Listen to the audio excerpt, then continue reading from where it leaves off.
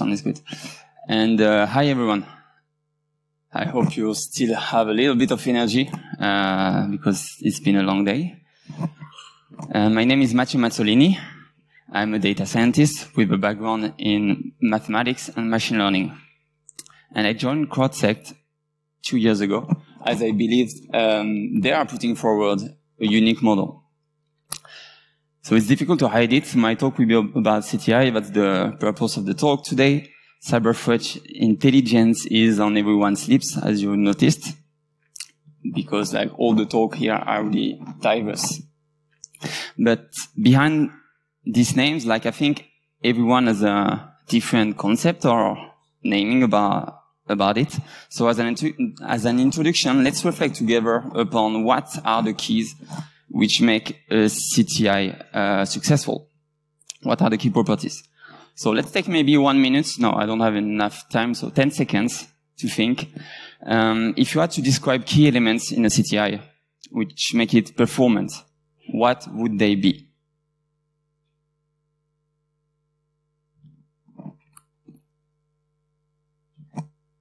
Okay, time uh, is over. I asked this question uh, with my team, and these are the four most important things uh, which came up.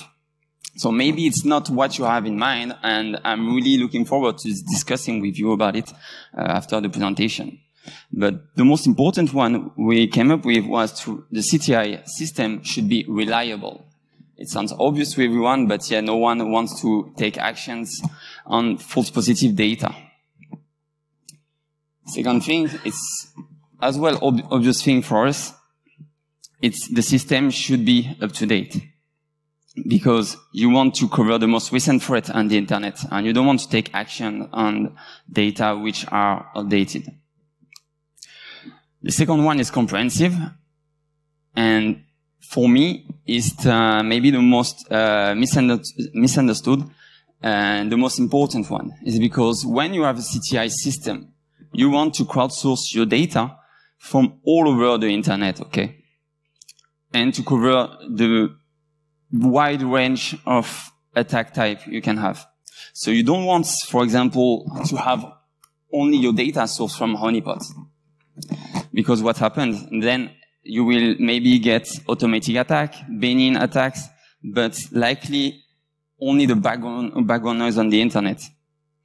And on the other hand, if you source your CTI data from real machines, which have legitimate services exposed, which have a proper SEO referencement, you are most likely to get valuable information.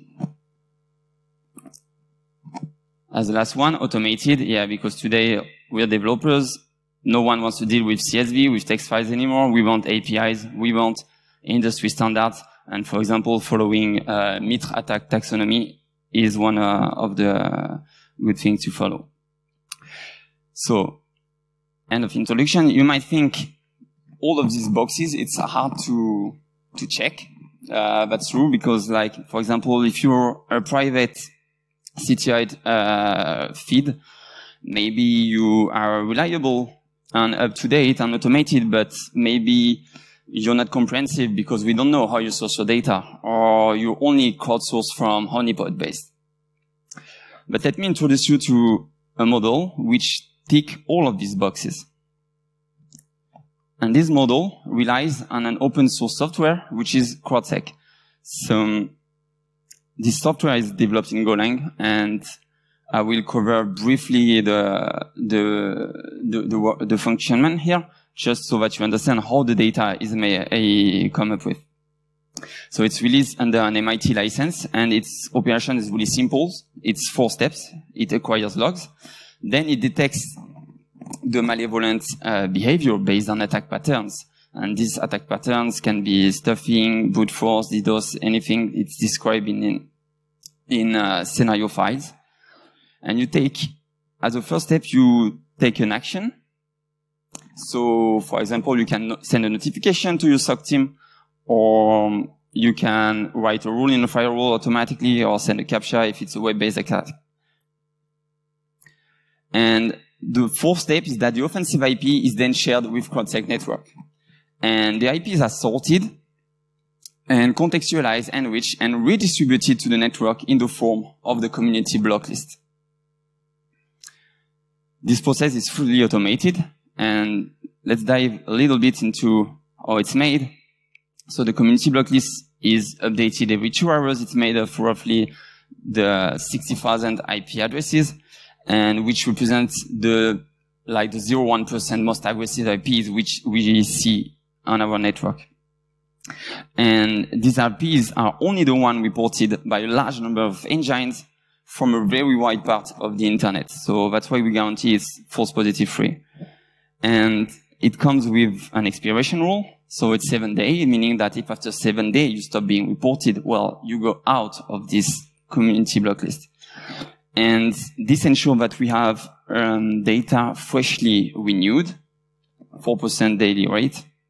And the system is automated uh, and fast enough to have a newly compromised asset uh, and the, which can end up in the block list in less than 40, 44 hours. Uh, we know that because we ran the experiment. We rented a machine on internet, made like a simple password accessible. And then after three hours, it was breached. Four hours, the first watcher of the network reported it and so on. And after less than 24 hours, we had enough uh, watcher reporting so that the expert systems engine, which build automatically the block list, put it in there. So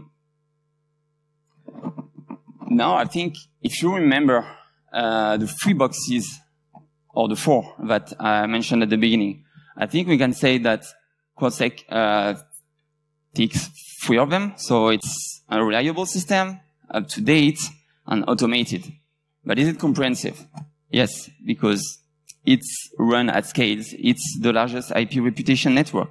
We have 69,000 active installations. We, uh, they share 12 million signals daily from more than 130 countries over the internet. So these are the raw figures. 130 countries? Well, okay, this, this is mainly, um, this is mainly for marketing purpose, I have to admit. Uh, because we are on the internet today, so we don't talk about countries. Well, what we talk about is IP addresses, it's IP ranges, it's autonomous systems. And, well, it's very accurate because CrowdSec runs on almost 3,000 autonomous systems. Most of them, uh, the top ones you can see on the tables on the left, you surely recognize uh, famous cloud actors. But what does it mean for you uh, as a business? It means that if you're hosting your services on these cloud actors, likely you will have already hundred or maybe thousands of CrowdSec engines protecting, uh, running on these uh, cloud actors and reported IOCs which target these actors, meaning that the CTI and the information we have will be really uh, relevant for you. And lastly, to enhance the diversity, I would like to say, yeah, that we cover a lot of uh, different attack vectors uh, because we are, it's CrowdSec is running on, on different platforms. Uh, you can see Debian, FreeBSD, and many Linux flavors, and also on, on Windows. And we have 150 scenario like attack pattern we, we cover and the community can build uh, many more. There are more 500 uh, available right now. So now we approach the second part of the talk.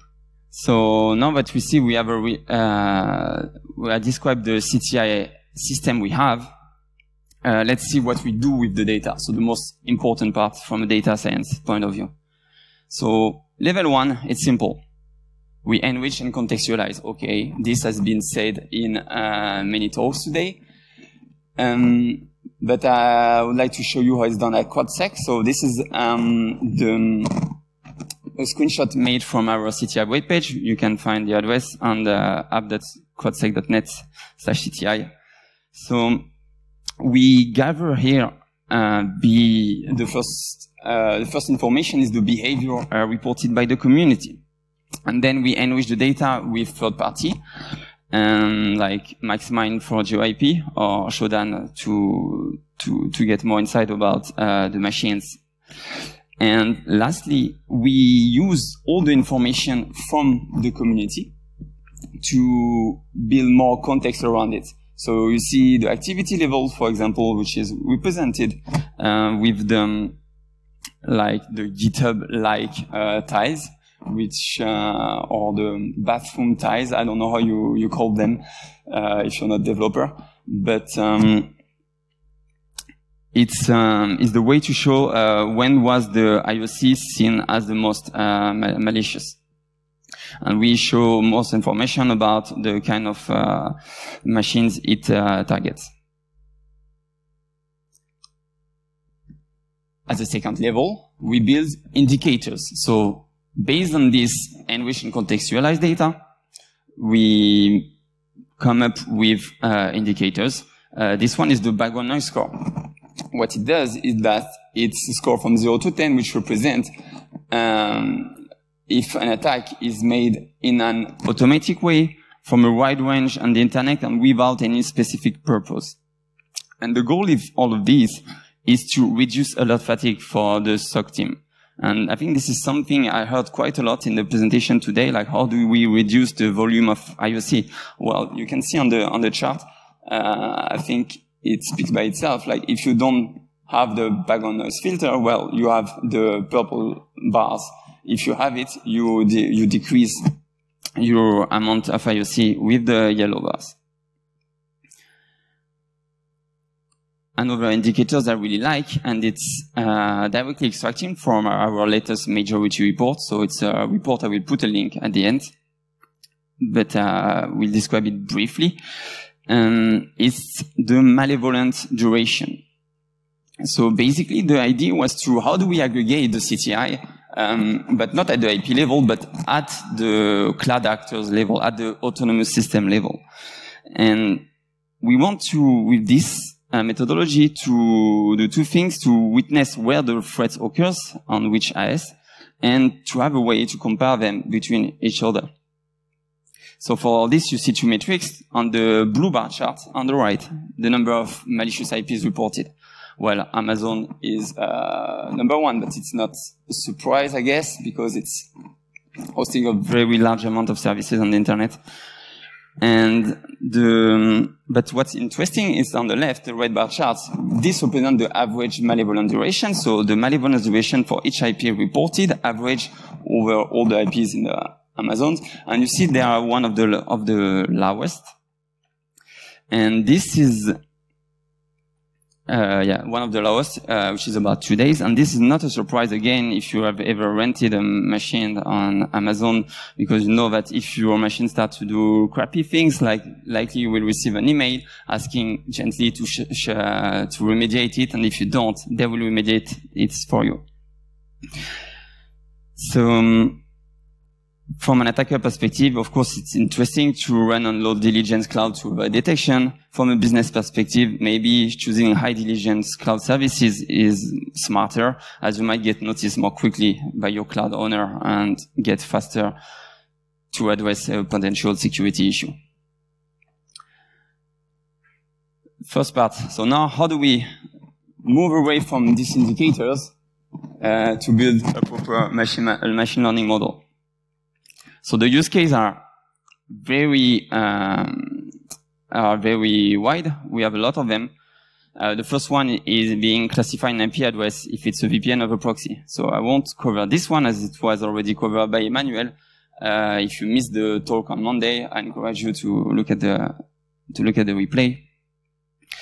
But uh, I will instead uh, look at other use cases under the spectrum of a graph uh, data structure. So this is a graph the graph structure is really interesting because it's uh, it's easy then to address like uh, problems like block list recommendation, IP similarity, or for example botnet detection to check uh, community detection based on on uh, attack patterns. So how we, how do we define a graph? Well, it comes naturally as uh, what we call a bipartite uh, graph, meaning that you have two nodes of uh, different types, can be attackers or engines. And an attack is represented by a link, so an edge between these nodes. what you can do then in your database is you can attach some properties which you will use as features to this node. So say, okay, the attack was a brute force over SSH or this port was open. And this way to represent the data is really efficient. You don't um, repeat yourself and it will it can be really fast to to query if you want to know uh, if you want to know which uh, uh, the, what is the neighborhood of, uh, of an attack uh, in, in the graph. So for this, you can use a Cypher query language, for example, if your database supported it. So now we can easily, uh, on the use cases I listed before, we can map them with some classical uh, task uh, with graph with graph algorithm. So I won't describe all of them. I don't have time for for it, but some are really interesting. And uh, community detection, for example, can be uh, done with uh, in an unsupervised way with uh, Louvain uh, algorithm. It's um, fairly easy to do. But what I would like to focus uh, the last is the, um, an algorithm I found really interesting in node classification, which is graph GraphSAGE algorithm. So it's a node classification algorithm developed at uh, Stanford.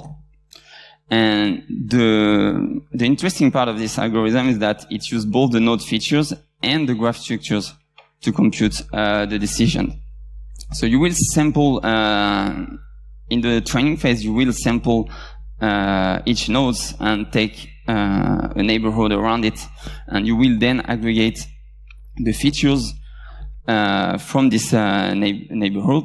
And then you will uh, put this in a machine learning model to predict the context and the label.